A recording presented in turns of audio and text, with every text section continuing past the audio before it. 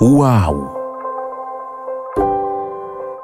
Podcast o supermocach osób wysoko wrażliwych. Hałas łatwo je przeciąża. Przejmują trudne emocje innych. Spalają się w konfliktach. ale też są lojalne, potrafią wykonywać naraz wiele zadań i grają zespołowo. Wow! To seria podcastów Lubelskiej Akademii PSEI o supermocach, które są przydatne na rynku pracy. W tym odcinku rozmawiamy z Lowisą Ulwasztoter. To kreatywna specjalistka posiadająca wykształcenie w zakresie sztuki 3D, animacji, efektów wizualnych oraz technologii multimedialnych. W swojej pracy łączy zaplecze artystyczne z gruntownym wykształceniem w obrębie biznesu i zarządzania. Obecnie pracuje jako kierownik działu oprogramowania w firmie Prios Competence oraz kierownik projektu inicjatyw międzynarodowych, skupiając się przede wszystkim na punkcie stycznym zarządzania i przedsiębiorczości. Z ekspertką rozmawia dr Monika Baryła-Matejczuk. Wow!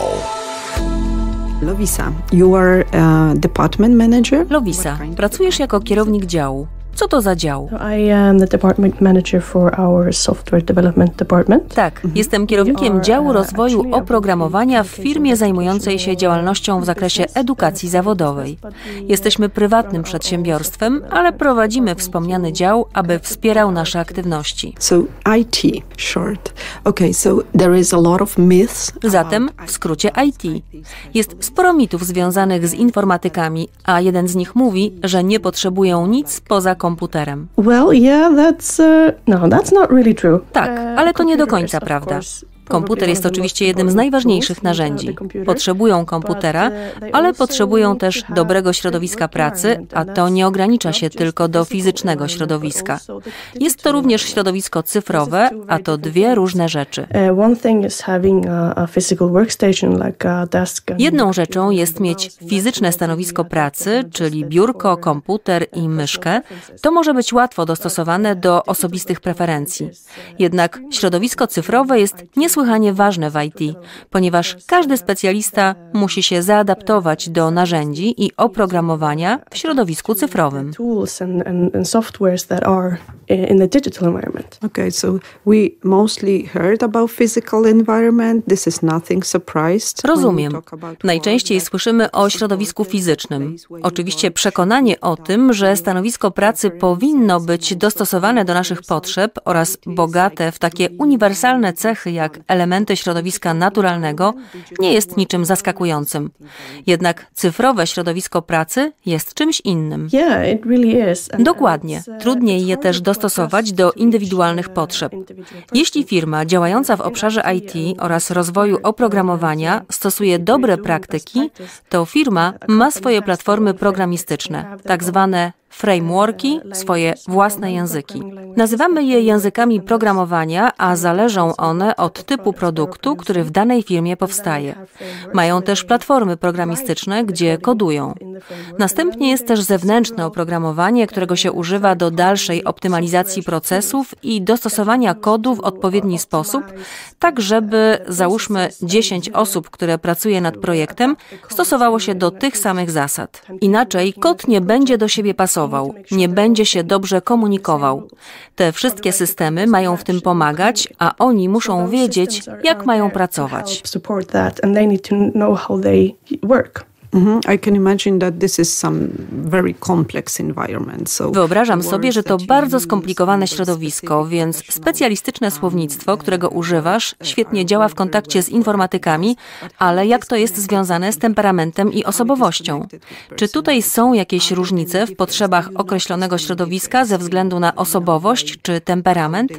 Czy zauważyłaś jakąś różnicę w tym, jak pracownicy powinni być traktowani w tym, jakiego środowiska potrzebują? Uh, I've W swojej karierze doświadczyłam powiedzmy złych praktyk, które przynosiły złe konsekwencje dla poszczególnych osób, ale widziałam też, jak dobre praktyki mogą skutkować dobrymi konsekwencjami Zaczynając od złych praktyk, żeby pokazać ich zły wpływ na osobę, możemy powiedzieć parę słów na przykład na temat onboardingu pracownika.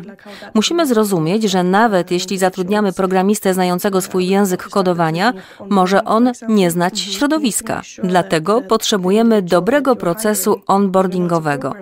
Nawet jeżeli pracownik zna język, w jakim pracuje, to może na początek pracować z innym programistą.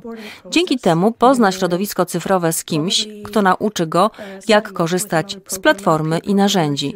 Stosujemy tu tak zwane programy wsparcia rówieśniczego. Ktoś towarzyszy nowemu pracownikowi w procesie adaptacji, uczy, jak poprawnie stosować narzędzia w jego pracy. Uh, frameworks and the tools properly. Okay, so you say we took it for granted that some people who we hire. Rozumiem. Czyli czasem zakładamy z góry, że osoby, które zatrudniamy, są w czymś dobre i nie potrzebują się adaptować do nowego środowiska cyfrowego. Exactly. If you don't do those things, Dokładnie. Jeśli tego nie zrobimy, możemy spowodować, że poczują się osamotnieni. Pomyślą, że menadżer nie rozumie ich potrzeb. Nie rozumie, że nawet jeśli znam kod, nie potrafię go zaadaptować do potrzeb zewnętrznych aplikacji oraz że nie wiem, jak pracować w ich środowisku, ponieważ to jest tak jak wejście do nowego budynku. Nie wiem, gdzie są pokoje. Potrzebujesz kogoś, żeby ci pokazał. Inaczej czujesz się jak głupek. Stoisz w lobby i nie wiesz, gdzie masz iść. Nawet jeśli wiesz, co powinnaś robić w każdym z pokoi, nie wiesz, gdzie masz iść. even So that uh, that can uh, be a source of uh, anxiety. To może być źródłem niepokoju, lęku i stresu. Kolejną ważną rzeczą w obszarze IT oraz rozwoju oprogramowania jest definiowanie zadań, a zadania muszą być definiowane bardzo dokładnie w ściśle określonych modelach. Jeśli nie są, łatwo jest deweloperom interpretować je po swojemu i dochodzić do własnych wniosków. Oczywiście starają się jak potrafią. Chcą stworzyć możliwie najlepszy produkt i tym trudniejsza do przyjęcia będzie informacja, że rezultat jest inny od oczekiwanego, bo nie był dobrze zdefiniowany.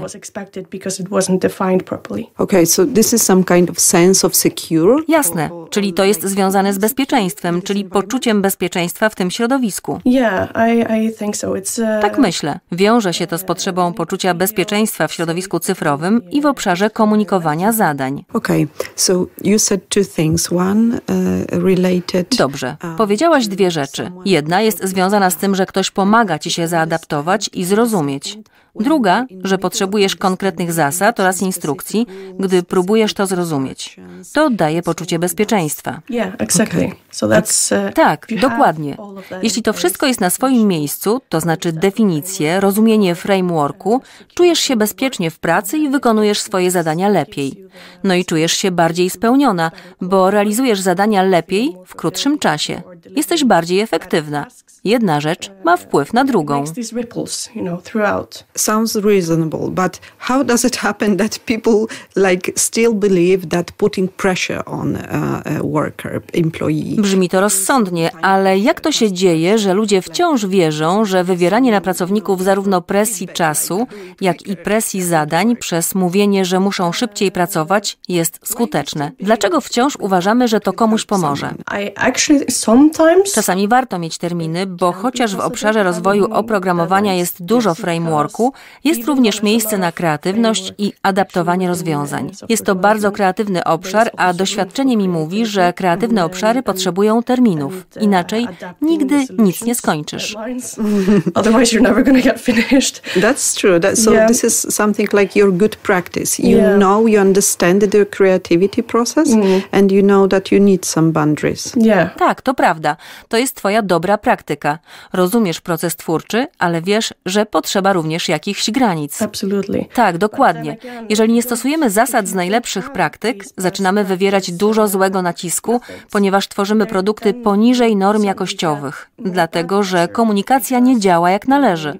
Wytyczne nie są wystarczająco dobre, a framework nie jest wystarczająco zrozumiały dla pracowników. To tworzy ciśnienie, presję ze strony zarządu, co wpływa na pewność pewność siebie i emocje kadry, co może powodować wypalenie. Tak, to prawda. Powiedziałaś nam trochę o Twoich dobrych praktykach, więc zacznijmy od początku. Jak przeprowadzasz proces adaptacyjny? To, co nazwałaś programem rówieśniczego wsparcia, wzajemnej pomocy. Peer Helping Program. Tak, to tak zwane peer programming. Jesteśmy dość młodym przedsiębiorstwem, więc ostatnio wdrożyliśmy ten program, widząc jego korzyści. W jego ramach, zamiast przydzielać jedną osobę do jednego zadania, przydzielamy przynajmniej dwie, dwie lub trzy, chcąc wykorzystać więcej zasobów do realizacji jednego zadania, tak aby ludzie nie pracowali sami. Mają siebie nawzajem, mogą ze sobą rozmawiać, polegać na sobie, więc często są nie przy swoim biurku i niewykluczone, że nie ma ich w ogóle w biurze, ale mają się na słuchawkach i w swoich cyfrowych środowiskach. Pracują razem online nad tymi samymi zadaniami. Okay, so, so you probably answer my question. Prawdopodobnie odpowiedziałaś na moje pytanie dotyczące komunikacji w środowisku IT, w środowisku cyfrowym. Polega ona głównie na wysyłaniu maili i krótkich wiadomości, ale mówisz, że nie tylko, że pracują zdalnie, ale równocześnie. Tak, używają rozwiązań cyfrowych. Obecnie dużo korzystamy z Teamsa i Telegrama, ale myślę, że między sobą wolą korzystać z Discorda. Używają Discorda do komunikacji, więc w sumie spotykają się wirtualnie, żeby porozmawiać. Zadania są zdefiniowane i zakomunikowane przez programy do zarządzania projektami, a pracownicy przechodzą przez zadanie, ale przechodzą przez nie razem.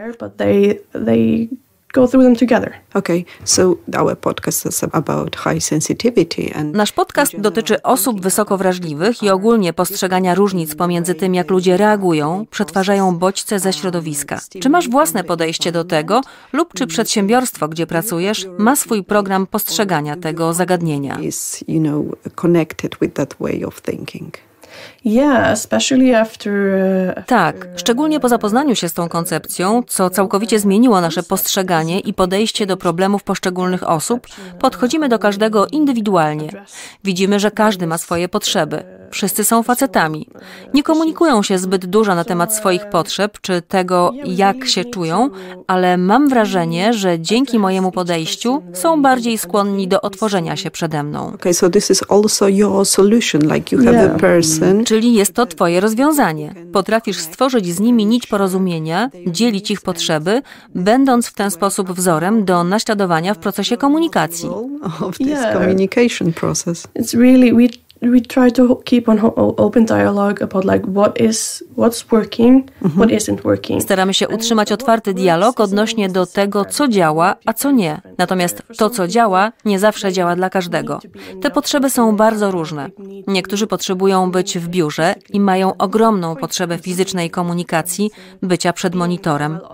Inni fizycznie nie są w stanie być w biurze. Powoduje to u nich niepokój, lęk, więc pracują z domu, a nam chodzi o to, kto czego potrzebuje, żeby jak najlepiej pracować. Gdzie nasi pracownicy rozkwitną? Jak rozkwitają? Wszystko dlatego, że ten sektor i taki typ pracy dają możliwości adaptacji. Dlatego naprawdę staramy się adaptować, bo możemy. Jesteście elastyczni dla jednostek, ponieważ możecie dopasować się do indywidualnych potrzeb. Prawdopodobnie każdy może być elastyczny w taki sposób, ale zależy to od naszej wiedzy na ten temat. To Ważnym jest, żeby zrozumieć to pojęcie. Gdybym nie rozumiała wysokiej wrażliwości w jakikolwiek sposób i nie wiedziała, jakie rozwiązania istnieją, nie miałabym narzędzi, żeby odpowiedzieć na różne problemy, tak jak mogę to zrobić dzisiaj. And what kind of tools are there? A jakie to narzędzia? It's for example Na przykład rozumienie tego, że nie powinnam zmuszać osoby, która nie jest w stanie przyjść do biura, żeby jednak przyszła, ponieważ ta sama osoba może robić świetną robotę z domu. Potem odkrywasz, w jaki sposób komunikują się ze sobą, nawet jeśli fizycznie nie są w tym samym miejscu. Wszystko rozbija się o dostrzeganie tego, że ktoś ich potrzebuje, bo, jak powiedziałam, komunikacja jest zawsze najważniejsza. Jeśli któryś pracownik potrzebuje pomocy, trzeba ich ze sobą połączyć. Trzeba zwracać uwagę na szczegóły. Trochę trudno to wytłumaczyć, ale tu chodzi o szczegóły i przygotowanie gruntu na możliwie najlepsze rezultaty. Natomiast kadra powinna rozkwitać i czuć, że mogą liczyć na pomoc przy rozwiązywaniu trudności, a my staramy się budować na pozytywnej informacji zwrotnej oraz na tym, co działa. Okay, so you find your you use the knowledge, you use the reliable knowledge about individual differences. Jasne, czyli używasz swojej wiedzy dotyczącej indywidualnych różnic, starasz się adaptować, ale wciąż istnieją twarde umiejętności, jak wprowadzanie zasad, dobrych instrukcji oraz informacji, jak pracować w środowisku cyfrowym. Czy to również działa w obszarze komunikacji? Czy obowiązują Was jakieś zasady komunikacji między sobą?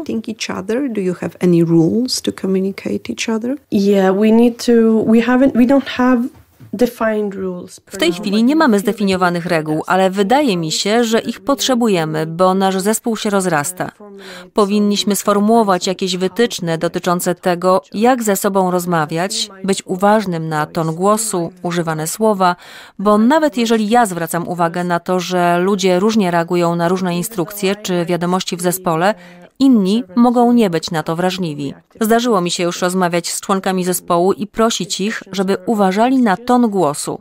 Wszyscy rozumiemy, że to nic osobistego, ale wciąż niektórzy członkowie zespołu mogą mieć problem z procesowaniem tego. Dłużej im to zajmuje. Okay, that's very important. You said very important thing that To bardzo ważne. Powiedziałaś bardzo ważną rzecz.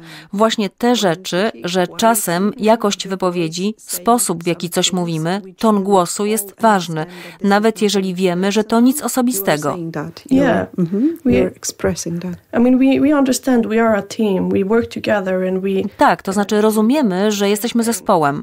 Razem pracujemy i chcemy osiągnąć ten sam cel. Jesteśmy całkiem szczęśliwą rodziną, ale w rodzinach też są konflikty i nie każdy ma ustawiony odpowiedni filtr, kiedy są sfrustrowani. Więc, jak powiedziałam, każdy rozumie, że to nic osobistego, ale niektórym zajmuje dłużej, żeby przepracować emocje, co pozwoli im na odpowiedzenie na określony ton głosu, a ton głosu jest często ważniejszy niż same słowa. Możesz powiedzieć właściwie wszystko, jeżeli użyjesz właściwego tonu. Jest to bardzo ważny element. Okay, so you are uh, the person who's facilitating this environment. Czyli jesteś osobą ułatwiającą funkcjonowanie tego środowiska, która facylituje to środowisko. Yes. Tak. And how you Jak to robisz? You should ask my staff. Powinnaś zapytać moją kadrę. Jesteśmy na otwartej przestrzeni biurowej. Z mojego miejsca obserwuję ich i rozmawiam z nimi. Z niektórymi osobami rozmawiam przez cały dzień, najczęściej online, ale słucham również, jak rozmawiają ze sobą. Z mojej perspektywy widzę, kiedy pojawia się jakiś problem i nie jest to problem pomiędzy nimi, ale problem z realizacją zadania. Frustrują się, a kiedy są sfrustrowani, atmosfera potrafi się bardzo zagęścić. I kiedy słyszę, kto to, mimo że pracują zdalnie, wiem kto z kim, to mogę napisać do tej osoby i zapytać, czy wszystko jest w porządku. Albo pytam, jak poszło jakieś zadanie i zwykle dają ujście swojej złości. Wentylują się i to jest w porządku, a ja próbuję się zaadaptować. I just try to adapt. And you know that this is nothing personal. I wiesz, że to nic osobistego. Tak, wiem, że to nic osobistego. Mogą na mnie narzekać ile chcą. Nie ma problemu. To nic osobistego.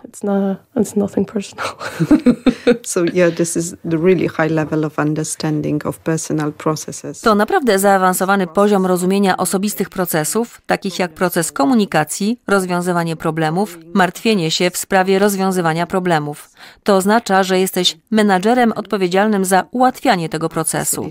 You are facilitating Yeah. this process. Very actively. very actively. That's also important. Okay, Yeah. so you said about peer programs. about Powiedziałaś już trochę o programach wzajemnej pomocy, o facylitowaniu pracy, nawet jeżeli dotyczy to umiejętności miękkich, kiedy ułatwiasz taki proces. Wspomniałaś coś o tutorach. Czy tym również zajmujesz się w pracy? Your work? No, not me or us person. Oh yeah, actually, yeah. I'm, I'm not Nie, nie ja osobiście, a właściwie to tak. Nie jestem tu do końca szczera. W naszym dziale, w ramach ośrodka szkolenia zawodowego, którym jesteśmy, zapraszamy ludzi do wzięcia udziału w szkoleniach zawodowych odbywających się przy wsparciu rządu. Bezrobotni otrzymują wynagrodzenie za udział w szkoleniach zawodowych. Zgłasza się do nas konkretna grupa ludzi. Najczęściej są to młodzi, bezrobotni mężczyźni, którym trudno jest odnaleźć się na rynku pracy. Zwykle są zainteresowani komputerami, gamingiem i tym podobne. Otwieramy dla nich swoje biuro. Mamy pięć stanowisk, gdzie uczymy ich programowania. Nasi deweloperzy są w różnym stopniu zaangażowani w uczenie i programowanie. W rezultacie stworzyliśmy krótki kurs podstaw języków programowania, z którego wewnętrznie korzysta kilku naszych deweloperów. W praktyczny sposób uczymy ich kodowania, tak aby w końcu mogli nam pomagać z naszymi zadaniami, a może nawet, żeby zostali zatrudnieni w naszej firmie. Moją rolą jest też pomóc im w zdobyciu kontaktów w przedsiębiorstwach z naszej sieci, gdzie mogą szukać jakichś opcji zatrudnienia. Czy to oznacza, że w jakiś szczególny sposób przygotowujecie waszych pracowników do tego?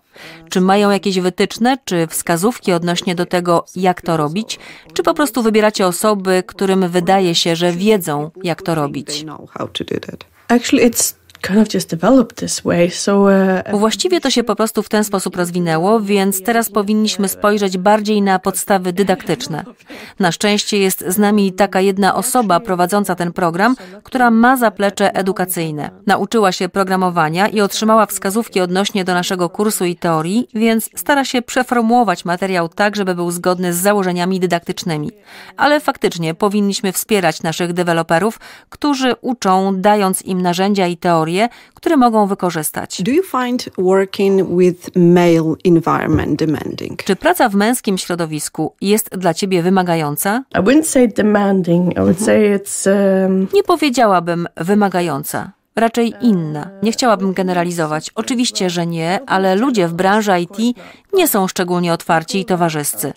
Wybierają tę karierę, jeśli z jednej strony może to być logika programowania, rzucanie wyzwań umysłowi, ale z drugiej strony powodem może być, że nie czują się dobrze w otoczeniu ludzi Chcą pracować sami. Są introwertykami. Odczuwany przez nich lęk społeczny i inne czynniki spowodowały, że wybrali tę ścieżkę kariery.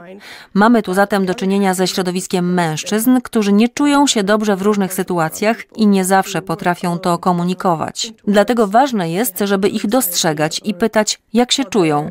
Myślę, że najczęściej zadawanym przeze mnie pytaniem jest właśnie, co mogę dla ciebie zrobić, żeby to zadanie poszło lepiej, żeby ułatwić ci pracę ask the most is what can I do for you to make this task better, like make your work easier? Yeah, it sounds so, like nothing like a very hard to do. Nie wydaje mi się to trudne, a jednak może być bardzo pomocne. Yeah, because they, it's hard for them to really say. Tak, bo im jest bardzo trudno powiedzieć, czego naprawdę potrzebują. Ciężko im powiedzieć, czego szukają.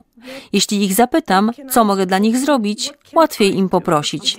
Czy mogłabyś, nadając temu inną perspektywę. Myślę, że jest to poziom autorefleksji, na który stać nie wszystkich ludzi.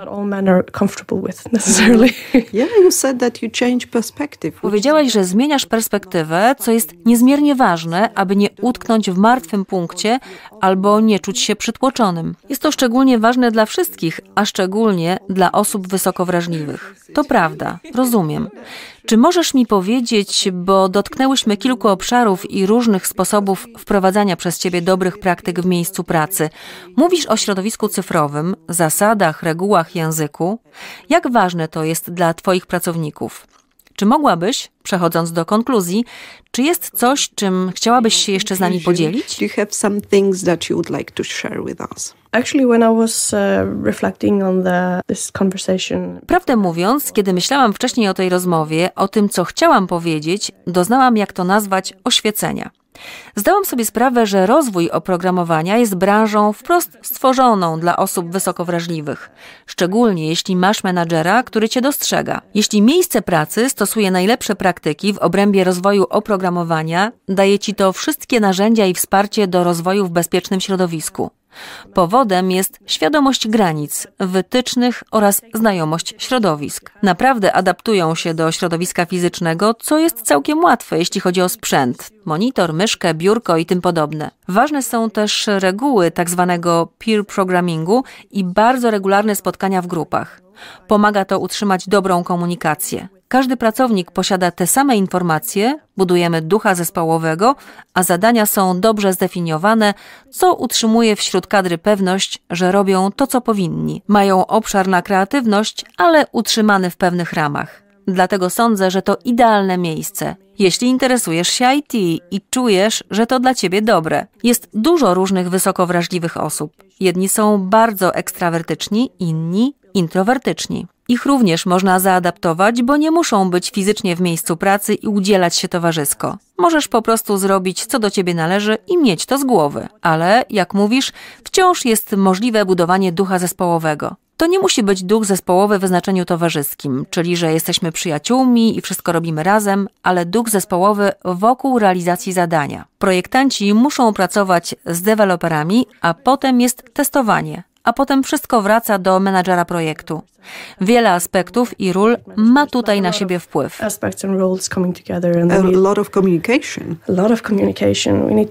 Dużo komunikacji. Bierzemy udział w codziennych, krótkich spotkaniach, gdzie informujemy się, co robiliśmy wczoraj, co będziemy robili dzisiaj, czy mamy jakieś problemy, czy potrzebujemy pomocy. To oznacza, że to nie jest strata czasu. Jest to coś, co bardzo pomaga. Tak, zdecydowanie. Jeśli przedsiębiorstwo stosuje najlepsze praktyki, sądzę, że jest całkiem niezłym miejscem dla wysoko wrażliwych osób. Jeśli nie, może to być znacznie bardziej wymagające. Okay. So if you could choose uh, like two or three things. Jeśli miałabyś wybrać dwie lub trzy rzeczy, które mogłyby pomóc przedsiębiorstwom IT, to co by to było? I think... Myślę, że generalnie brakuje osób, które robią to, czym ja się zajmuję. Jak wspomniałam, chodzi o bycie uważnym obserwatorem, przebywając w ich przestrzeni. Oczywiście nie zawsze lubię być w tej przestrzeni, a oni nie zawsze są z tego zadowoleni, ale jesteśmy tam razem i mogę obserwować. Mogę obserwować i doświadczać nie z perspektywy zadania czy projektu, a z perspektywy środowiska oraz społecznego i emocjonalnego punktu widzenia. Dzięki temu mogę wkroczyć i od razu rozwiązać dany problem czy rozładować napięcia. Przynajmniej mam możliwość zaobserwowania, że coś się szykuje i mogę się tym od razu zająć. Można powiedzieć, że wychodzę krok naprzód i podczas całkiem prywatnych rozmów mogę ich zapytać, czego ode mnie potrzebują. Nie ograniczam się więc do stwierdzenia, masz zrobić to i to, a jeśli masz jakieś trudności, sam znajdź rozwiązanie i powiedz, jak to zrobiłeś. Moje pytanie brzmi: co mogę dla ciebie zrobić? Sądzę, że to bardzo ważne i w naszym przypadku działa bardzo dobrze. Druga rzecz to tworzenie wytycznych. Większość ludzi myśli, że to bardzo podstawowa sprawa, ale społeczny aspekt tego, jak ze sobą rozmawiamy, jakiego środowiska pracy chcemy. Nie mówimy tu o regułach w stylu zrób to i to, ale wytycznych, trochę jak w przedszkolu w taki a taki sposób się zachowujemy i w taki a taki sposób się traktujemy. Yeah, that's great. Thank you very much for accepting our invitation. Thank you for having me. It was very lovely. Thank you very much. Projekt Promotion Wrażliwe zarządzanie karierą jest realizowany przy wsparciu Komisji Europejskiej. Niniejszy podcast odzwierciedla jedynie stanowisko autora. Komisja Europejska nie ponosi odpowiedzialności za wykorzystanie zawartych w niej informacji. Wow! Podcast o supermocach osób wysoko wrażliwych.